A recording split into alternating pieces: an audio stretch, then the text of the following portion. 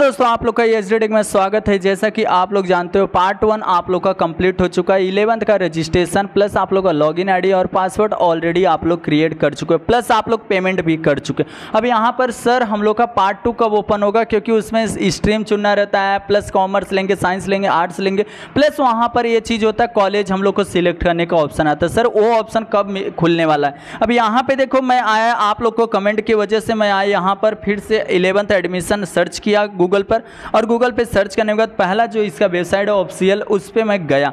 और यहाँ जाने के बाद एक चीज़ मिलता है मुझे, यहाँ पर देखो मैं मुंबई, और मुंबई से सीधा इस पर क्लिक किया तो एक ऑप्शन नया खुल जाता है। यहाँ पे देखो रजिस्ट्रेशन के बाद आप लोग को यहाँ पर एक चीज़ आता है जो कि आप लोग को बहुत ज़्यादा बेटर है, ये समझने देखो, यहाँ पे लिखा part two application and option from will start form. पाँच जून 2024 मतलब पाँच तारीख से आप लोग का ये भी पार्ट टू ओपन हो जाएगा मेरे भाई। वहाँ पर स्ट्रीम आप लोग चुन सकते हो कॉलेज चुन सकते हो प्लस आप लोग को सब कुछ वहाँ पर क्लियर कर सकते हो। पार्ट वन ऑलरेडी चालू है बट पार्ट टू का ऑप्शन आ चुका है। पाँच जून को स्टार्ट हो जाएगा मेरे भाई। अभी यहाँ पर इकतीस है।